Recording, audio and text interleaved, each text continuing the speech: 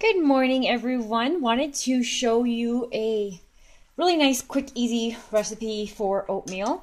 Um, right now I have, and this is like my one of my favorite oatmeals to make um, when I think of making it. Um, so pretty much right now I have a really ripe banana and almond milk, and then a steamed baked potato um, from uh, the you know the night before.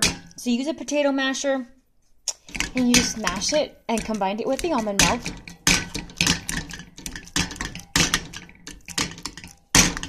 And just adding more um, almond milk as you need it, either homemade or store bought. Um, of course, you know, homemade's preferable with everything. Just has more nutrition. Um, and then I take a whisk and I'm just going to um, gather this all into a uh, puree um, of bananas and sweet potatoes and almond milk. And this is going to be our base for the oatmeal. Of course, I'm going to add a little more almond milk as well. So let me go ahead and just, if there's a place that I could put this, and we can do this with two hands. Okay, and at this point as well, you can add um, raisins, van vanilla extract, cinnamon, uh, cardamom. So coconut milk would be decadent in this breakfast as well if we added coconut milk, canned coconut milk or fresh coconut milk from a coconut. Um, so at this point, it kind of resembles baby food, which is just, you know, by chance. Um, I'm going to grab some more almond milk.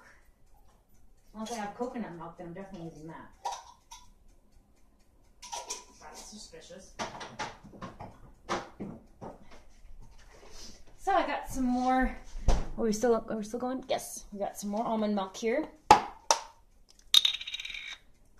So this is actually about two servings I'm making here with one baked potato, one banana. Um, two servings with a piece of toast and some oranges. And you got a delicious, quick, um, healthy, plant-based um, breakfast.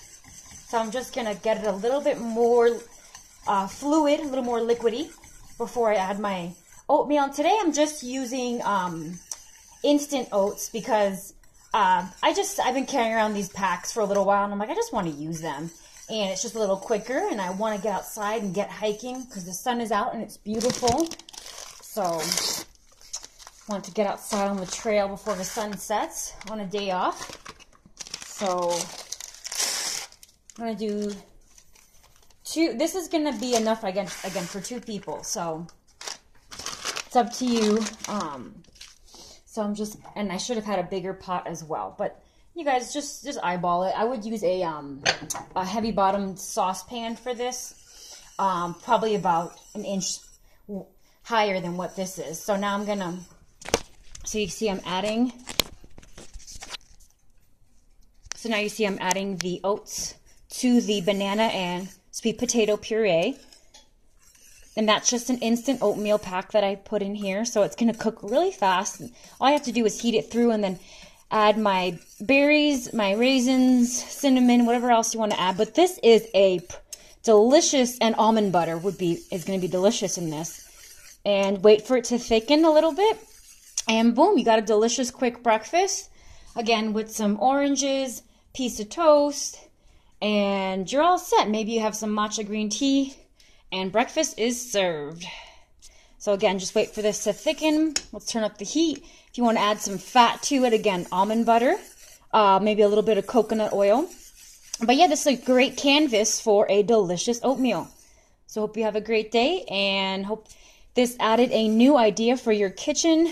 Um, and let's share kitchen recipes online and what tricks and tips we've learned from our delicious kitchens. Have a great day. Lots of love. And you are beautiful, perfect, and complete. And shine. Be happy.